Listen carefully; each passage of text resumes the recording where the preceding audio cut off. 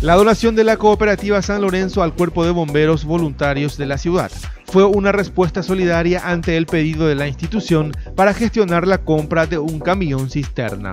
Bueno, los cuerpos de bomberos habían solicitado una ayuda ¿verdad? a la cooperativa San Lorenzo a los efectos de que puedan gestionar sus eh, en la aduana, ¿verdad?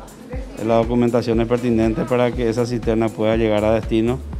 Y ellos habían solicitado, y bueno, el Consejo de Administración, dentro de lo que de sus posibilidades, hemos donado 15 millones de guaraníes para que ellos le puedan servir de ayuda a los efectos que puedan gestionar, principalmente para que eh, puedan tener las documentaciones pertinentes y que el carro cisterna podamos tener dentro de la ciudad de San Lorenzo y a favor de nuestros cuerpos bomberos.